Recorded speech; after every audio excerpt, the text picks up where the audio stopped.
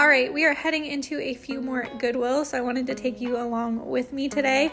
The first thing I spotted was this teapot. I loved the flowers on it. I wasn't familiar with the brand. I'm gonna butcher it, but it's like Jack Jack Key by Lobjoy, something like that. I ended up grabbing it based on the style. Then I told you that these geese have caught my eye recently in my YouTube video, and I just I can't stay away from them. I did leave this though, but thought it was cute. This crock pot was adorable. I love the flowers on it, but it was a little dirty, so I ended up leaving this one behind for the next person. Super cute though. Probably would have grabbed if it was cleaner. Uh, this Lenox vase is absolutely gorgeous. It was $6.99. I ended up grabbing this one. I think it'll look so cute in the booth. Then I was so excited to spot some L.E. Smith, and it had the lid. I didn't get good footage in the store, so I had to show you when I got home.